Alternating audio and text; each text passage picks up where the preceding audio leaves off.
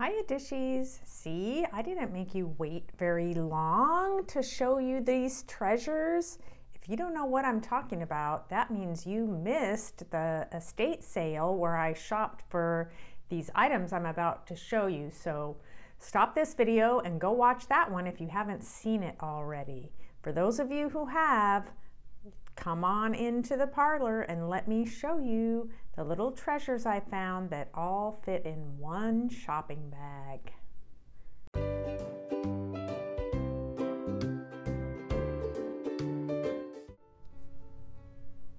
I paid between 50 cents and $4 each for the items I'm showing you. You saw me show the two religious icons. I ended up buying them both. I'll see if I can insert a clip of the other one here.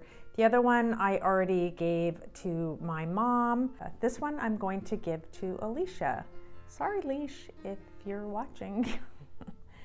Um, this is, I believe, a Russian icon, not a Greek icon. It may be Ukrainian or some other Eastern Bloc country based on some of the writing that's on it here. Let's see if I can.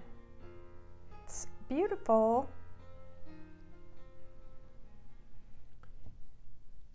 You saw me pick this up in the kitchen. This is one of those acrylic pieces from the 1970s.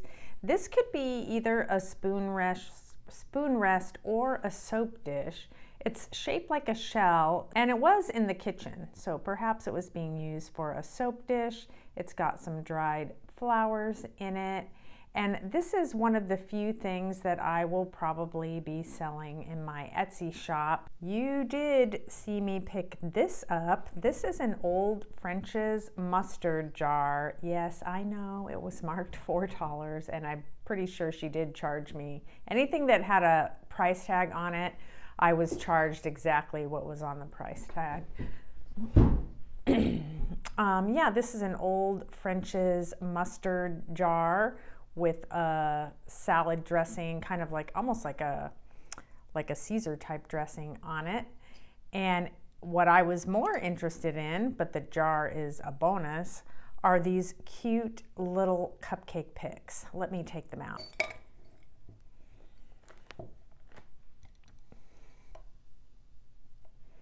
Look how cute they are.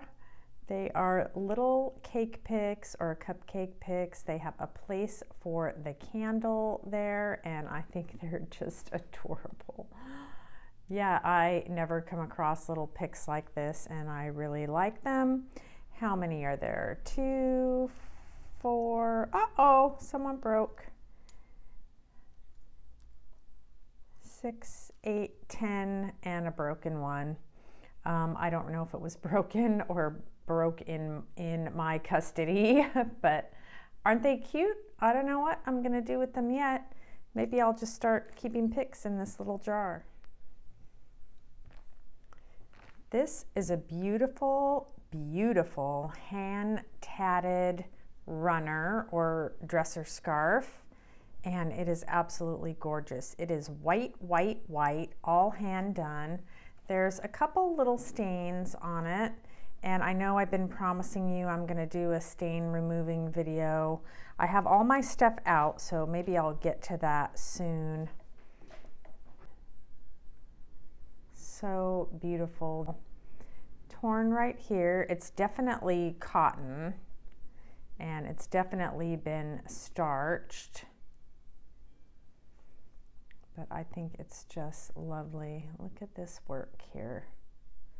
Now, you may not know this, but my cousin Alicia knows how to do this. I don't think she's done it for some years. Um, you know, our eyes aren't as good as they once were. Anyway, I thought this was beautiful and I know that I will use it. Ended up getting this dishcloth here. It says, or hand, hand towel. I think it would be for the bathroom but you could use it wherever. Guests, may the light of friendship's fire fill our home with warmth and cheer.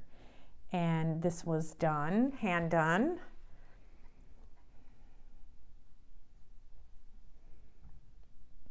by, I'll just say, Mrs. B, who was one of the owners of the home. And it is so pretty, and I may be giving this as a gift. You saw me pick these up. I I am such a sucker for stuff like this. These are obviously the little papers that are used in restaurants when you embarrassingly order decaf coffee and they put this under you. So you get the pot with the orange handle that has the decaf. Aren't they cool? In fact, I just went somewhere with my husband. We went out to breakfast the other day and and I ordered decaf and they put one of these under there, but it wasn't one of these cool absorbent ones. It was almost more just like a piece of paper. So yeah, these have been around for a long time, but these make fun little package toppers. Mm, I don't know that I would ever use all of them, but they're kind of fun. If anyone is interested in some of these for crafting, let me know. I can just pop some in the mail to you. I saw this adorable little hot pad. This one I like because she's red and I'll probably just hang her on the wall in my kitchen. I love her color and I think she's really cute. You saw me pick up that Sanctity of Marriage book. I wish I had bought it, but I don't really have a purpose for it, but I did enjoy looking at it and I hope you did too. But I did pick up this postcard which is so cute. Um, this is Mary and Joseph and baby Jesus, and this is Saint Therese who of Lisieux, who some of you may have heard of. And it's just a really sweet little image. But one of the things I really liked about it was it's just a little handwritten note. It's in the faintest pencil, and it's written to Mrs. F something or other in Monterey, California. And it says, Dear Frances, that must be Miss F, from Ruth. And I don't know the year, but look at the stamp. Can you see it? It's hand drawn. So maybe she just delivered it right to her. Have any of you ever done that when you were a kid? Had a little postcard or something you were playing with, letter, and just drew your own little stamp on it? So cute. Very cute. That will just go in my postcard collection.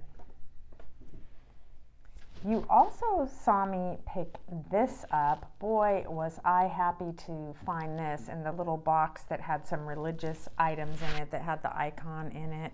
And I don't know if you can tell, but it says holy water. And I haven't cleaned it up or anything. It says keep, it says keep constantly filled. Isn't that cute? For holy water, keep constantly filled. So, of course, it does need some cleaning. I will try to clean it out with a little salt and vinegar. I did look these up online and they sell between 30 and $40. So, I pretty much, you know, paid for my fun there at the estate sale. Yes, I really love this. I also got these beautiful glass rosary beads there. Um, the one in the middle is my favorite. This is a statue of the Virgin Mary. It's plastic and was made in Italy, and I will be giving this to Alicia. I think she just has the most beautiful face.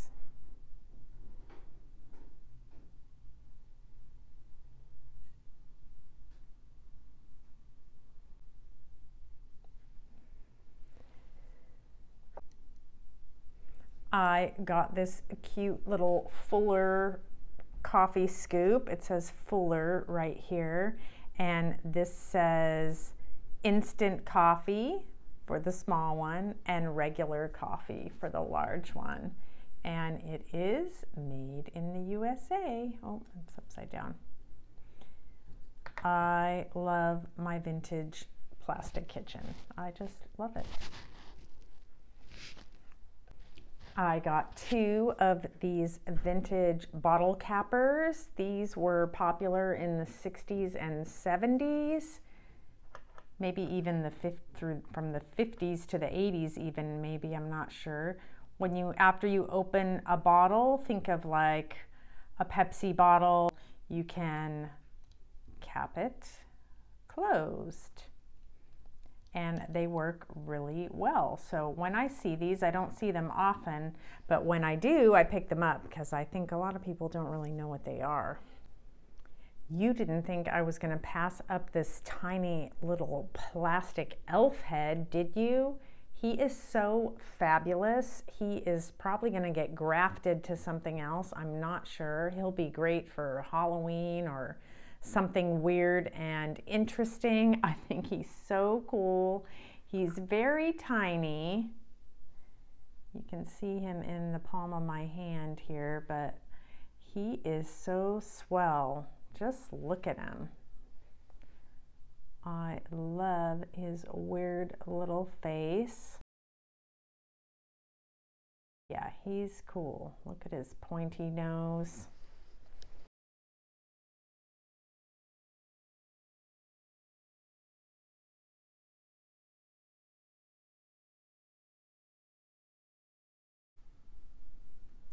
I found all these little angels in there. They're plastic.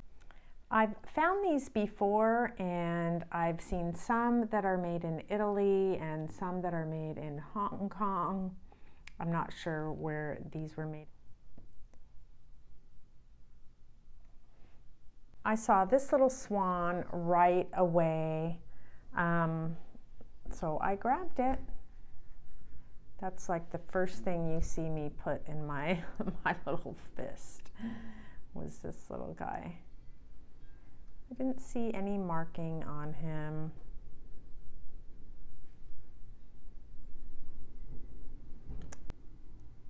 He'll be great for my miniatures collection and who knows what he might be used for. This little pin was on some foam, which you can see already disintegrated. And it says Alaska Fishermen's Union pensioner. So probably Mr. B, who was one of the owners of the house, was a fisherman. He was a little bit younger than my grandfather, um, and a lot of the Italians in the area, in the Monterey Bay area, were fishermen back in the day. My grandfather and my great uncles all were, and they might have even known each other. And that's why I picked this up because it made me think of my family. I saw these two little vintage boxes sitting in there, and I hoped they would have something interesting in them because they definitely look old. The first one has a saint's image on it. It says Santa Agueda. On the back, it has P5 white, and then it has these little stickers on it. So I don't know what those mean, but inside were some of the old school stars. They look like the Dennison stars that your teacher would lick and put on your paper. And all I have to do is see these and remember what they taste like. Does anyone else remember what these taste like? So probably if it wasn't for those stars, I would have left this, but it's still kind of a cool box. Oh, and this label too, Holy Childhood Flowers. I don't know, I don't know what any of this, this means. If you know, let me know. Then there was this, and I'm going to try to insert a picture of what it's supposed to look like. This box is really thrashed and it says Holy Trinity Nightlights. Okay, and just let me, the scale of this, I'm putting everything in my little dollhouse sofa. It's small and it says Holy Trinity Nightlights, guaranteed to burn 12 to 24 hours. You can see there's something underneath, but it's been covered with masking tape. So I'll try to insert a picture of what this box is supposed to look like. And this is what's inside. I was really, really excited when I opened it because inside, oh, are these teeny tiny little candles, which is great for miniatures and dollhouse building. And I believe the directions on the box say use only the best quality vegetable oil. And they're guaranteed to burn for 12 to 24 hours and not to set the cork on fire. Scary. I'm just not quite sure how they were supposed to be used. But um, yeah, I'll show you a picture if I can find it again online.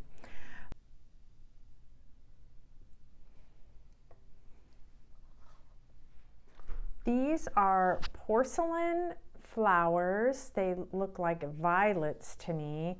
In fact, they look a lot like the violet candies I mentioned to someone that I had tried when I was a child.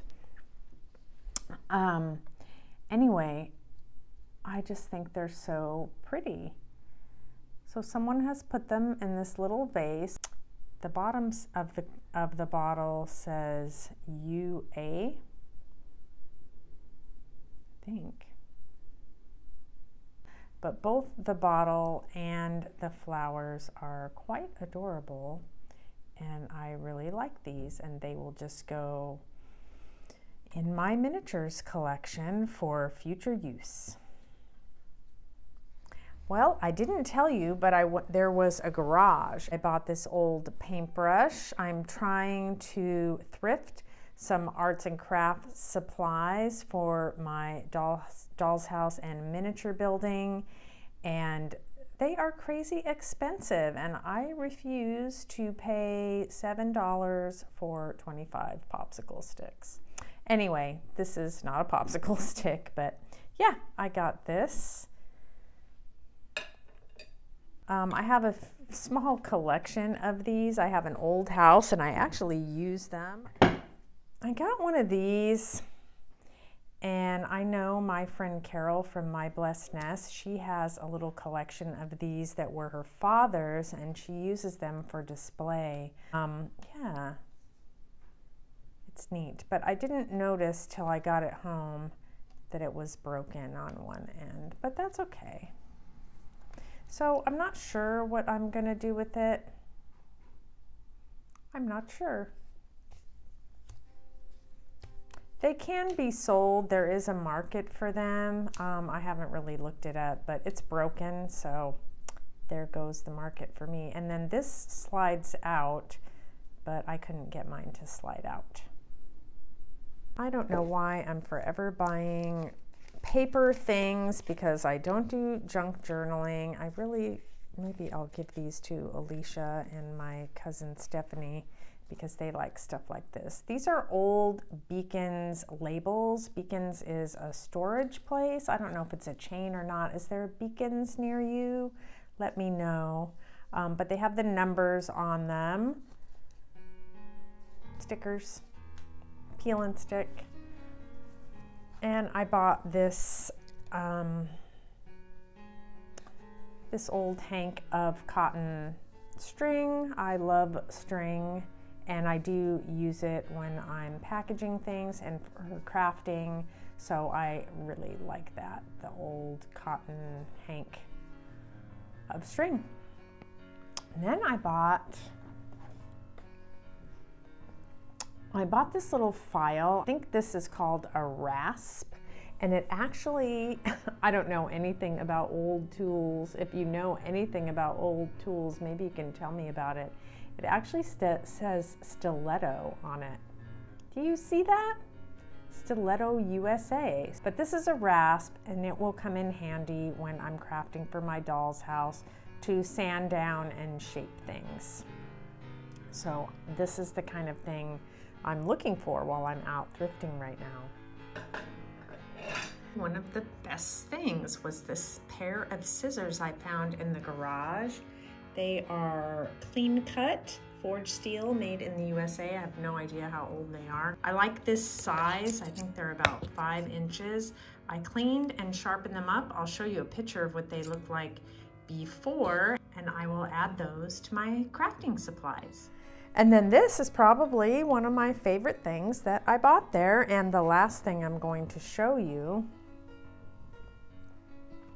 it says 7-in-1 Deluxe Tool, Deluxe 7-in-1 Toolkit, and you have seen things like this today. These were made in Hong Kong. Um, anyway, you know, it's like a little handy dandy toolkit you can just put in your pocketbook or your, um, your, your glove box in your car. I don't think it's ever even been used. Well, maybe for hammering.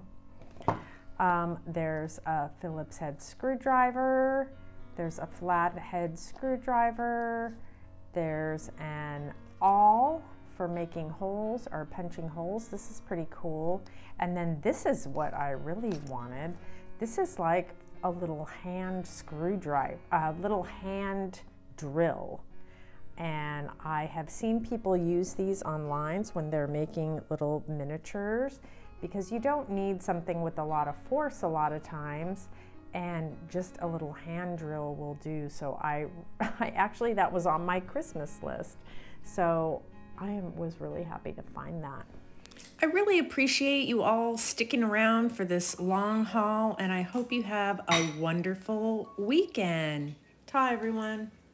Don't forget to stay for the movie.